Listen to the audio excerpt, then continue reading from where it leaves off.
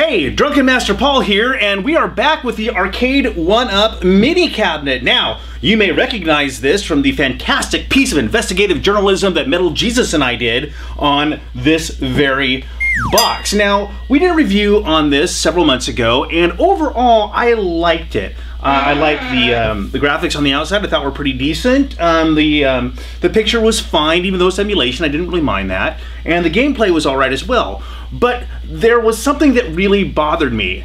That, no, not the beer, the spinny knob. Now this is an Asteroids, Tempest, Major Havoc, and Lander cabinet. Now two of those games, Tempest and Major Havoc, they use spinners. Well, Tempest uses a spinner, Major Havoc uses a roller in the arcades, but a spinner would do just as well.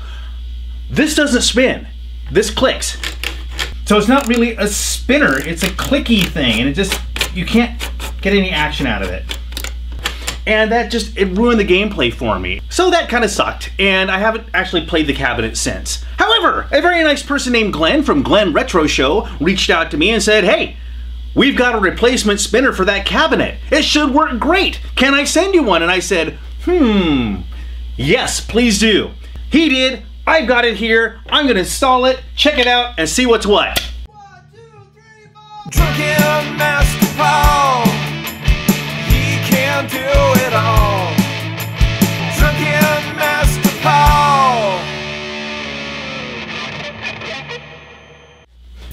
All right, to show you how it works as it is, I'm gonna play a quick game of Tempest with the clicky knobby thing. All right, here we go.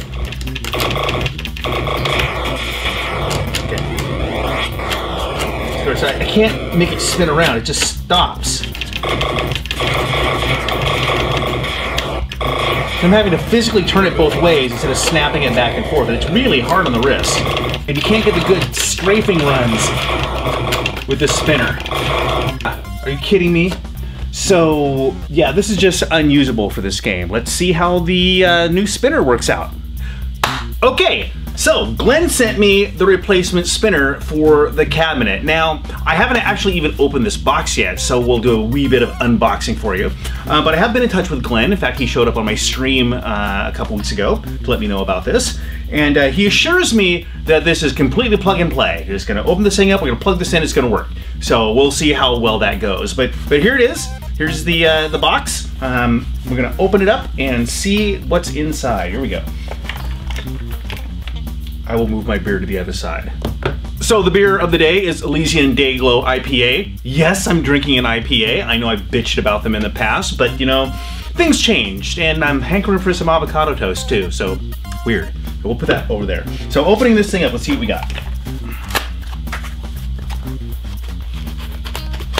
Okay, so we open it up and we have some instructions. So here we go. The official Arcade 1-Up global fan page, endorsed by Tastemakers LLC, setting the trend. Always uh, like to hang out with good trendsetters.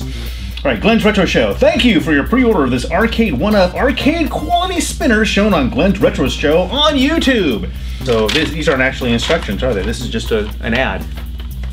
Did I just read a commercial? All right, so put that aside over here. And so next one is all right, we have adjustable arcade spinner. This is nice. IPAs. Yeah, good stuff, good stuff. All right, we'll set those aside. And here's the spinner itself. So comes nicely packaged in some foam. Uh, apparently this goes for like 50 bucks. So I'm really, I really appreciate you guys sending this out to me. So there we go. Here's a, the base for it. Uh, that's heavy. Oh, look, silica gel. We get chiclets. So, there we go. That's, wow, it's nice and heavy. Nice ball bearing. And, ooh, that's a good weighty spinner wheel. So that will go in there and, ooh, spinny, spinny. That's, that's a spinner. This, this, this, this. Yeah, no comparison. All right, that, the board, looks like we have a bunch of screws and wires and see anything else in here. Set this out. Okay, nothing else in there. Set that aside. And does it come with an Allen wrench? It does not come with an Allen wrench. No Allen wrench, but don't despair, I have many Allen wrenches. I'll go get one and let's get this thing installed. Now there's no instructions on how to actually pull the counter apart, so I'm just gonna go for it here. I'm gonna pull the screws.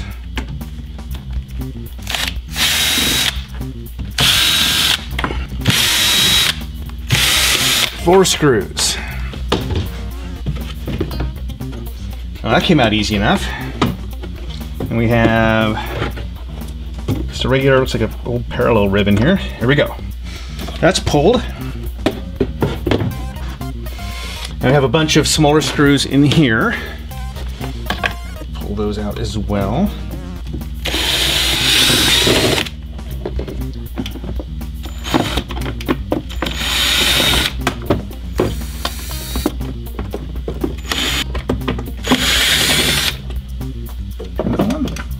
we're good. So there we go. So it's not a difficult setup. Okay, so it says remove original spinner. All right, can do.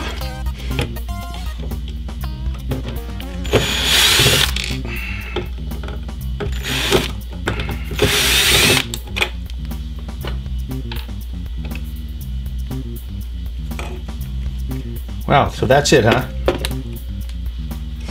So there's the original spinner. That is not a spinner in any way whatsoever. That is a switch. Just a high friction rotary switch. Well done.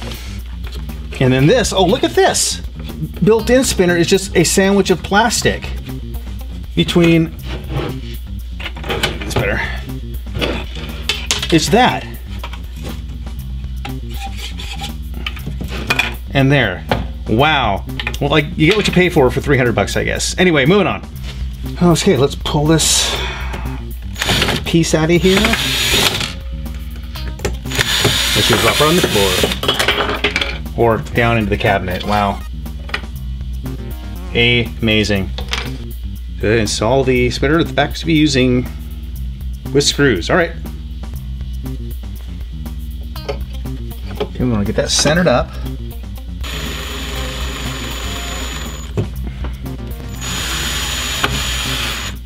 There we go.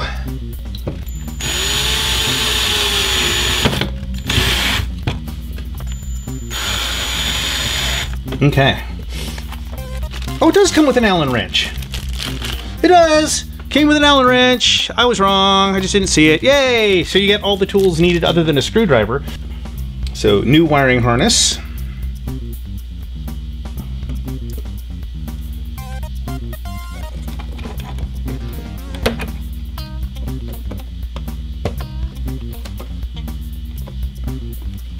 Okay. Okay, so the wiring harness went in just fine. Just need to clip out the old one. And I know I could just cut the wires and pull it out, but I'm not going to. I'm to keep this intact for now. There we go. Okay, so that's pretty much it. Let's, uh, then we put it back together.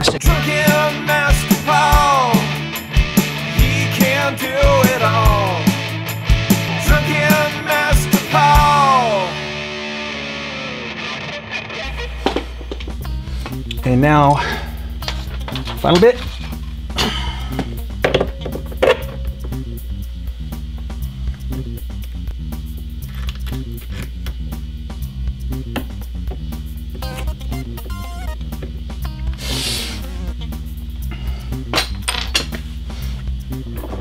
Ooh.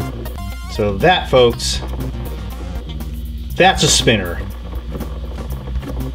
All right, let's see how this works. So Glen, you didn't steer me wrong. That was plug and play. I didn't have to cut anything. You just unscrew the, uh, the control box, take the old one out, put the new one in, and they even included the Allen wrench to tighten up the knob. So well done, that was super simple. And if I wasn't shooting a video, I probably could have done that in about five minutes. So well done. Now I didn't do anything else. I literally touched nothing else besides the spinner. I just plugged it back in and we're gonna test it out right now and see if this is gonna work. It works. At least it fires up. All right.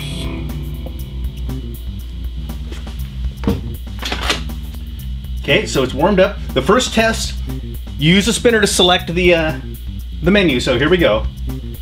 Woo, it worked. Tempest. Selecting Tempest. Here goes nothing. Wow! That is Tempest. That is a million times better. Holy shit in a shoebox, Batman. It's there's more finesse.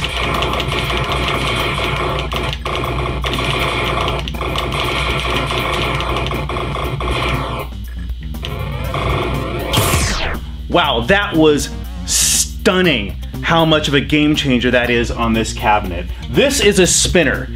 This is the way to play Tempest, and I'll play Major Havoc. I'm sure it's gonna be much better doing it that way. It actually spins, it's not a cheap little rotary switch that's uh, disguised as a spinner. Now, one of the reasons I'm harping on this so much is on Arcade1Up's webpage, they claim it's arcade play. They claim that these are just like the arcades, and in this case, it just wasn't. It just, the feel was wrong and it didn't actually work. With this spinner, I would say this is as close as you're gonna get to arcade play at this price point. Now, it isn't cheap. they cost about 50 bucks and uh, they're they're worth it. For me, they're worth every dime. Um, the hardware is very high quality. It feels good, and it transforms this into a playable machine. So.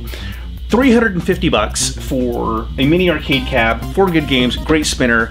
I think I still think that's worth it. You can't find anything at that price point unless you build it yourself. And if you're gonna build it yourself, great. You can build an awesome MAME arcade cab for about half this. But you know, some people just don't want to do that. Time is money, and uh, I really understand if you just want to go out and get something cool.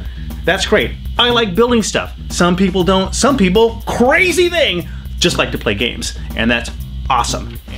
So thank you once again, Glen from Glen's Retro Show for hooking me up with this fantastic spinner. I give it the DMP thumbs up seal of beer approval. It's awesome. It's just awesome. The quality's up there. The installation was super easy.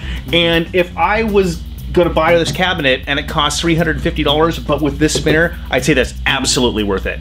Thanks for watching. Thanks for subscribing. And don't forget, I'm now streaming on Twitch. Check me out on uh, Twitch TV slash Drunken Master Paul. I usually do a show every Friday at 6 o'clock. It's the happy hour. And, you know, I might even throw a little Tempest out there, too. Who knows? I'm going to have more beer and play some more games. Cheers. So huge thanks to Glen Planamento for sending me this spinner. It is literally a game changer. Now, Glen is in no way affiliated with Arcade1Up. He just designed this and had it built. How cool is that? Glen also runs the biggest Arcade1Up fan page on Facebook. Make sure you check that out. Of course, I will be putting links to his pages and also to the Amazon page where you can buy this. And just for the record, I don't get any money from this spinner in any way whatsoever. However, if Elysian wants to throw me some cash for endorsing their product, I wouldn't turn that down. Thanks for watching and have a scientastic day.